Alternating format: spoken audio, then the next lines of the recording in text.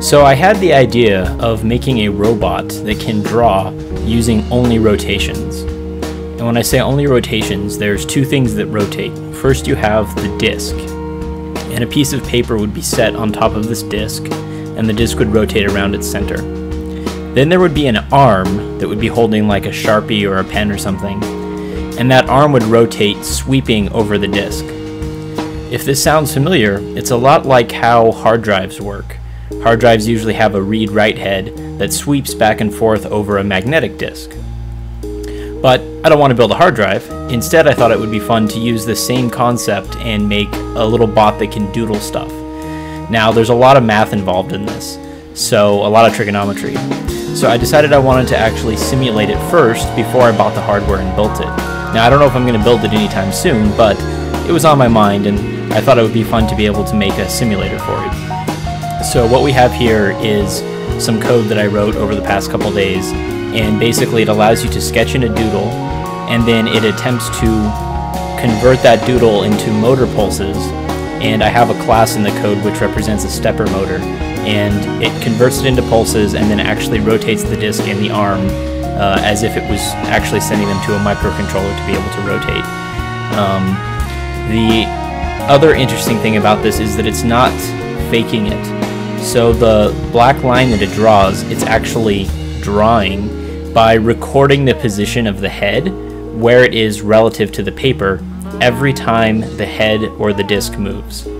So I'll say that again, it's kind of confusing, but basically, if the disc rotates or if the arm rotates, it records the current uh, position of the black dot, which represents the Sharpie, relative to the paper and it just does that over time. So it's not just following the line that you draw ahead of time, which would be cheating because if I were to just follow that line, I would already know all the places it needs to go.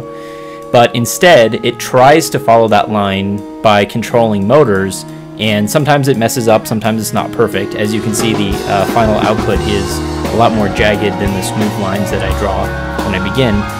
But if you were to actually um, you know, manually overwrite it and twist the disk um, out of the way, it will record that stroke. The ink will record the fact that it got messed up.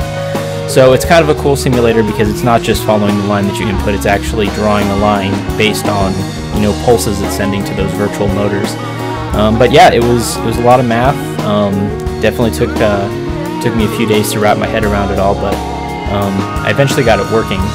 Um, my friend who uh, I want to work on this project with actually came up with a different solution for how we can calculate the rotational values for the motors, but I haven't implemented that one in this version. This version is just using um, some, you know, uh, arc tangent to uh, arc cosine, a bunch of just trig to figure out all the angles, and then uh, attempt to get the motors to pulse to be in the correct positions.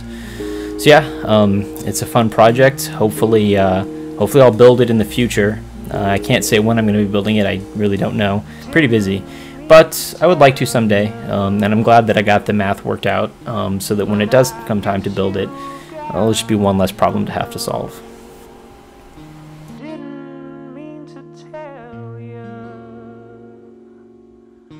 but I guess you got